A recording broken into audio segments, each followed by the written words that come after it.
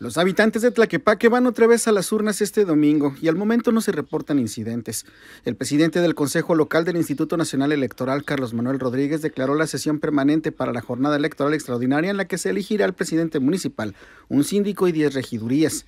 La lista nominal se integra por 492.996 electores, quienes votarán en 758 casillas.